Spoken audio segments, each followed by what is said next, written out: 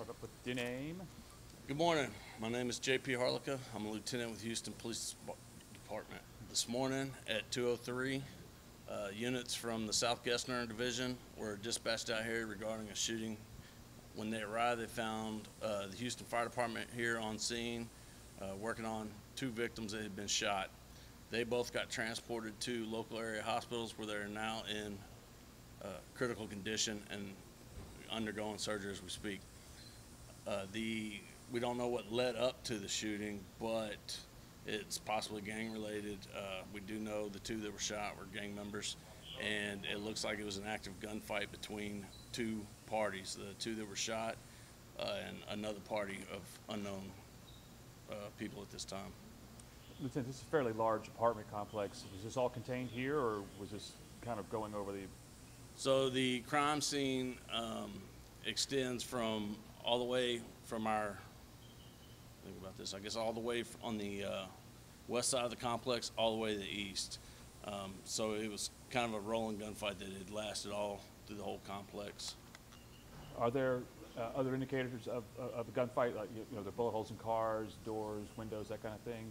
Um? There's, there's a few in walls. We don't see any in cars, no windows, no doors, none entered uh, any uh, apartments. It was just all exterior walls. Um, There's shell casings on the scene, and there is a firearm behind me, which y'all can see on the sidewalk, which belonged to one of the individuals that was shot.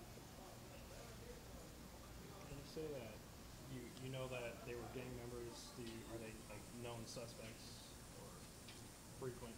You guys, you know, have a history with them? So the information I got at this time, one of them uh, got out of TDC two days ago and just got home and is a documented gang member. And you mentioned uh, their, the nature of their injuries. Um, one of them was shot in a leg, and the other one was shot in the abdomen area. Are these two guys in the same gang, or were they opposite?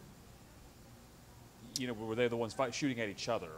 No, no, no. These two were together. Um, we don't know who their uh, the conflict was against, um, but they were together. Uh, I'm not sure what the association with the uh, second person that was shot is with the first one. And uh, the, so, the, is it safe to say the search is still on for whoever did this? Yes, and we have two witnesses that we're talking to, but they're giving us vague information, and they're, uh, and, and nobody actually saw the incident. So right now, we have no suspects and no descriptions. Thanks, Sergeant.